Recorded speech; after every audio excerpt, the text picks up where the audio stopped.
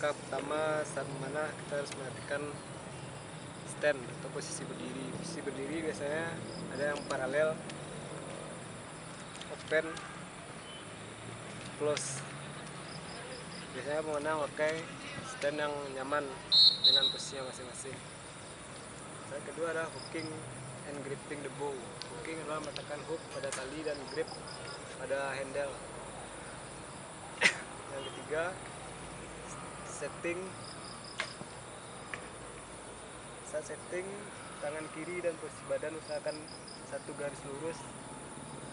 Drawing. Saat drawing yang perhatikan sampai posisi anchor adalah let up dan aiming